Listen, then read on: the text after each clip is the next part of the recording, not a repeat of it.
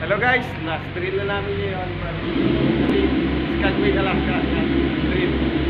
Sa live load ako ng live boat. Yan. Live load na laro. Now we will take uh, we will take the picture and the videos now. Okay, sama. Tara na. Dito sa Skagway, Alaska. Let's go.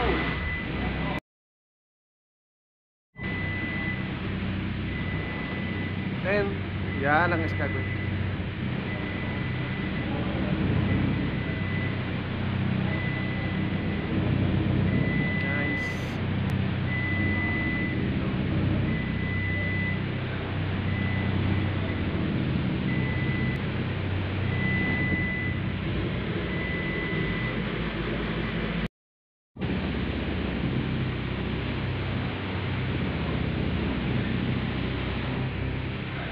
Yan, may mga nagyayalo na yung mga.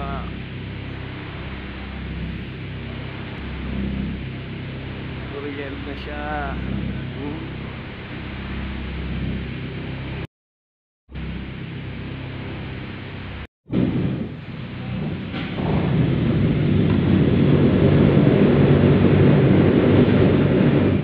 Bali nakita niyo napakaingay ng barko, di ba? Labit dito sa Skagway, Alaska. Well, salamat sa panonood nyo.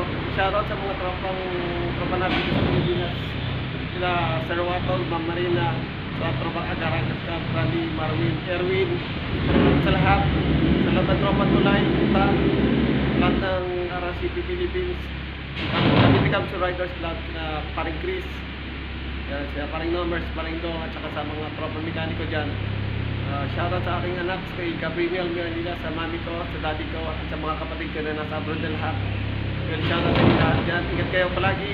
At samahan niyo po ang gana ni Cloud Race Man na pagbabalik sa Pilipinas ngayong October 15.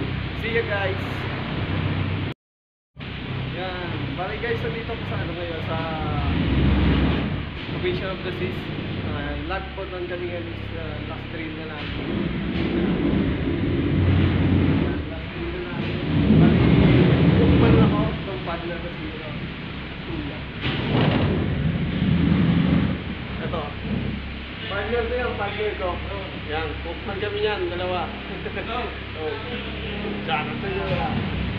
Yeah, yan ang partner ko. Team Ukman kami. Dito sa live boat number 10. Uh, wala yung live boat commander namin nandun sa dulo yun. Forward, yun.